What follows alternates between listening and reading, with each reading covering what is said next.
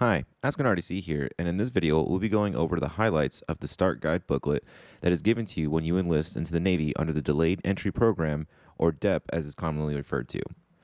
If you do not have this booklet, you can easily find it with a quick Google search, and it is highly recommended that you look over it and memorize information in this booklet.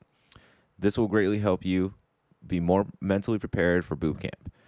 Now, the version I am using might look slightly different than yours, as the book often changes its design. However, the information we'll be going over today has not changed in a long time, such as ranking recognition and the 11 general orders. Starting off with one of the first few pages, you will see the Navy's core values of honor, courage, and commitment. Here you will see more detailed explanations of each, but it's more important to take away that the Navy core values are honor, courage, and commitment. Next, we will see the 11 general orders. You will need to have these memorized. All Navy personnel have this memorized word for word and will be able to say them out loud at any given point in time in boot camp. This is especially true on watch. They may ask you for one at random or all 11 of them. It may sound like a lot to memorize and it may take a few seconds for you to say correctly when you're on watch, but its important part is that you get it right and try to memorize these word for word. On this page, you will see two more items that you will need to have memorized the Sailor's Creed and the RTC Maxim. The Maxim is short and easy to memorize, but the more important is the Sailor's Creed. You will be saying this on almost a daily basis, at least in boot camp. It is a creed explaining our position, our code, and our conduct of commitment. Another major point to memorize is the RTC chain of command. Now, everywhere you go and every duty station you are assigned to, you will have a chain of command. It is important to know who you work for for multiple reasons. This way, you know who your boss is, who is giving you orders, and who to make requests through. This isn't like Walmart or a civilian job where you'll never see your general manager or CEO, although you won't be bumping into the higher chain of command, such as the president or the secretary of defense. You will be seeing your commanding officer and those that work for him or her. So it's important that you recognize who they are, especially on a small ship or a small command. These personnel and their names and ranks will be given to you when you are assigned to your RDCs or even sooner. Other than recognizing their faces, what will help and is necessary for you to memorize and understand is rank and recognition. This includes enlisted, chief warrant officers, and officers. Even if they aren't in your chain of command, you need to know these so you can learn the basic descriptive rank and devices in order to render the proper greeting. The most annoying part of being an RDC, or not the most, but one of them, is when a recruit salutes me and I'm not an officer, or calls a chief a petty officer or a petty officer a chief, which is a really great way to get an earful of information and awareness. Continuing on the subject of leadership, you and your fellow recruits will, while in boot camp, will be given positions within the division. Each have roles and responsibilities that make running the division a smoother process. For example, the recruit chief petty officer, or the RPOC for short that we will be calling him, because it used to be called recruit petty officer in charge, but RPOC is a lot easier to say. The RPOC is the recruit in charge of the division. Although there will be many times when the RDCs need to address the whole division or just simply take charge whenever, the RPOC that earns the respect of the division and works hard is a better tool to use for us. If I need my division to accomplish a few tasks, and then get ready to go out and practice marching, later on in boot camp, I'm not going to be giving out those commands. I would call my RPOC, tell him or her what I wanted done, and they would take charge while we get ready to go out in march. If you can't get that done, you'll get fired and a new RPOC will get assigned. When I think back, I believe only once I, have I chosen an RPOC from the beginning of boot camp that held it down all the way to the end. Usually, I go through quite a few RPOCs before I find the one that can do the job, and this is true with a lot of the chain, recruit chain of command. This rotation of the recruit chain of command and not just the RPOC happened towards the beginning of boot camp. So by the second half, you have a recruit chain of command that can hold it down and perform the job, and they usually don't get fired. So if you want a job and you aren't the first choice, just stay strong and motivated, and you might be able to take up the mantle of the person that either fails or underperforms.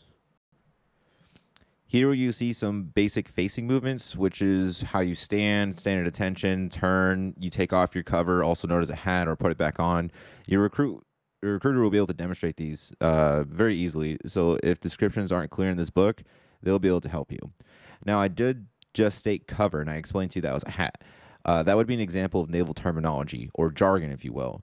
Cover has two meanings, for example. It's either the action of putting on or taking off your headgear, or it is the headgear itself, a cover or to cover. Some of this what you see here probably you've heard before uh, by someone else or in a movie or a TV show. This is our daily terminology used within the Navy. You might say, go to the janitor's closet, grab a mop and a bucket, and clean the floors. In the Navy, we say, go to the gear locker, grab a swab and a Cadillac or a caddy, and swab the deck. A hat is a cover, shirts are now a blouse, pants are trousers. Making sure you incorporate these terminologies into your daily vocabulary will help you understand and move more on the fly. Now, this next slide has a lot of basic information of what to bring and what not to bring to RTC, and the slide after this as well. And I'll try to cover it to the what I think people usually bring up questions. But if you have any more questions, leave in the comments below. But bringing it up here, uh, these list of items usually change, especially with the environment we are now. Before we couldn't, we tell people that you had to send the books home or throw them away or donate them, and then for the two weeks that you were in ROM or restriction of movement or isolation, you could keep those books to kind of help kill the time. Uh, but that's slowly going back to the original way where you could not do that. Uh, but a few things never changed that we'll go over now. For example, is money. I don't re- recommend bringing cash or a checkbook. But if you have a debit card attached to the bank account that you want to either your Navy paycheck to go through, or you have money, you want to bring that. I don't recommend bringing cash because you could lose it.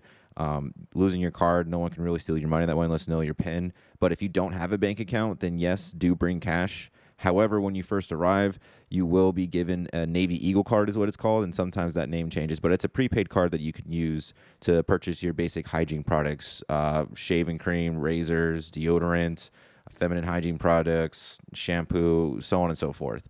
If you don't have a bank account or you want to switch, during the first week of boot camp, you'll be given an introduction by two banks, Navy Federal Credit Union and Armed Forces those are two really good banks. Um, I'm not promoting them or anything like that, but the benefit to these banks is the fact that your hometown bank might not be in Japan or it, your hometown bank is only in Texas, but it's not in California. But what if you get stationed in San Diego? Of course, you'll still be able to access your money through your ATM card.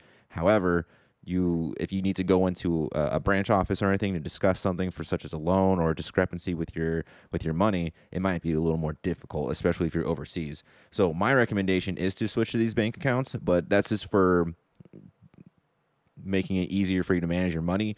But you can always do what you want. I'm once again we're not sponsored by these banks or anything like that. I just that's the recommendation i would give because it makes it easier for you to handle your money. And the last thing you want to do is worry about money when you're trying to do a job However, having a bank account is 100% necessary for you to be able to get paid by the Navy. The Navy doesn't give out checks anymore. Uh, you need to have a bank account. So if you want to switch or you do not have one, that opportunity will be given to you in boot camp, and it's a pretty smooth process.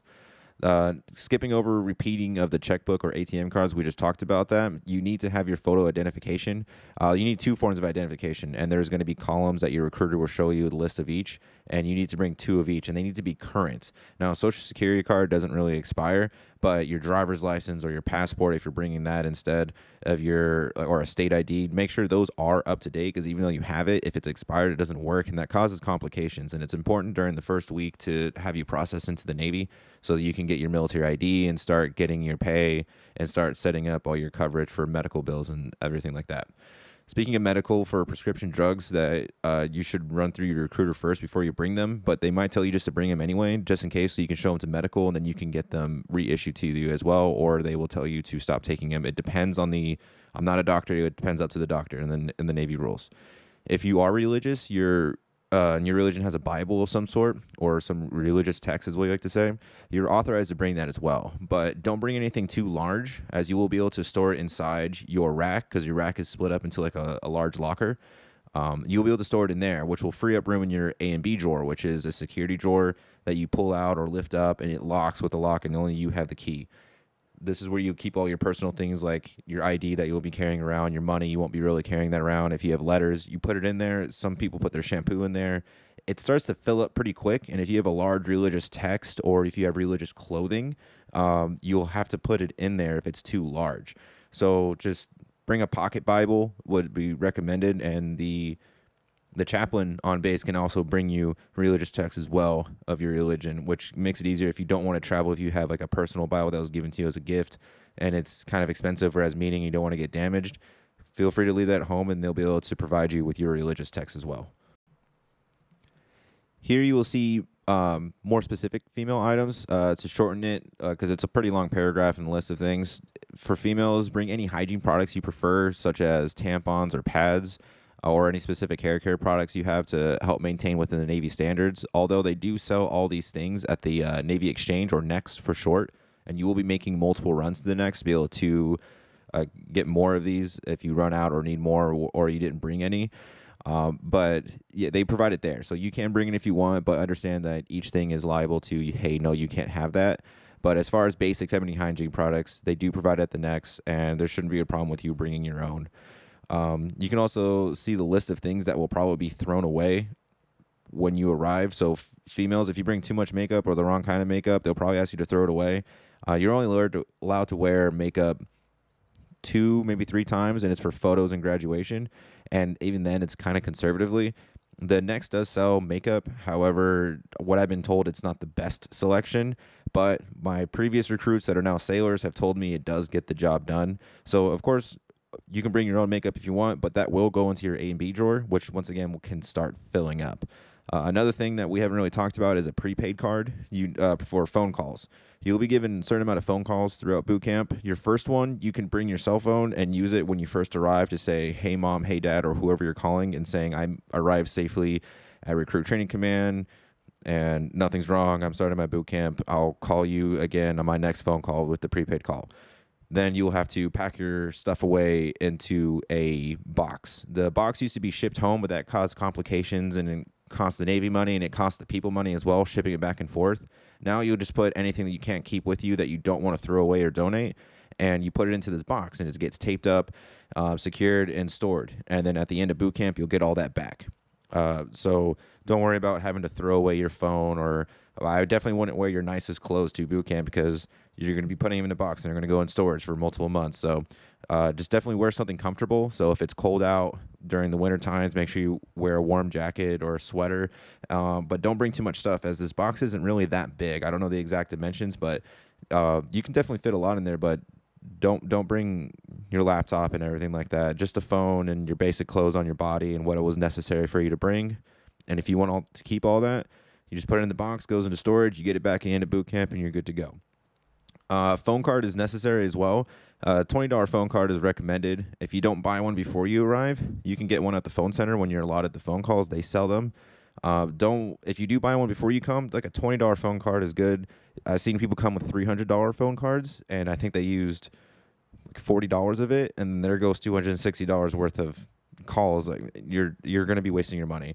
So if you bring one before, just that's fine. Just don't go breaking the bank doing it. And if you think it's not enough, don't worry. You can buy more while you're there. And then additionally, some of the basic things that you can't bring is alcohol or tobacco products. Now, you if you end up staying in a hotel and you and you're a smoker or you dip or vape, whatever the nicotine products are that you use, you can use that. But then when you arrive at boot camp, you're going to have to throw that all away. If you bring any medication such as acetaminophen or ibuprofen um, Advil, you're going to have to throw that away as well. Um, so don't worry about trying to stock up on those things to bring in. Uh, if the if you really need it on a regular basis, more of a prescription style, you just talk to the medical provider when you go through medical, and they'll be able to give it to you if it's necessary. On this page, you can see it talking about physical readiness and swim qualification. Now, I have already made a video on preparing for boot camp that talks in detail about the physical readiness, but I do want to touch here on the swimming portion you will be given a very basic swim test in the beginning of boot camp, such as floating and be able to swim about 50 meters. If you do not pass, you will be given multiple chances throughout boot camp to pass it. Um, and there will be remediation classes as well, but it's highly recommended you learn how to swim and basic float before you come to boot camp. You don't want to be missing and catching up and possibly getting set back in boot camp for not passing the swim although I've only sent about 10 recruits or so back out of the 900 total recruits I've trained through 10 divisions uh, during my time that couldn't pass a swim. Um, and their instructors will do the best to help you pass, but it's still, you're learning in your local swimming pool or asking a friend will help out a lot. It's better to pass the first time. Additionally, if you have a fear of the water, uh, don't worry. Most of the instructors are SEAL or SWCC, which is our Naval Special Forces, um, which obviously make great lifeguards and they take the job very seriously. Sometimes we have rescue swimmers as well working there, um, and they're trained to save people in freezing waters in the middle of the ocean with rough seas and really bad weather. you're going to be in a heated pool, so you're in a pretty safe environment. And that was a basic overview with a few highlights on the start guide. Make sure you prepare yourself as much as possible physically and mentally for boot camp, as the more prepared you are, the better experience you'll have during boot camp, and it won't be such a rough ride. Uh, and I hope this helps along your journey. Let me know if you have any additional questions down in the comments below. Hoo-yah, Navy!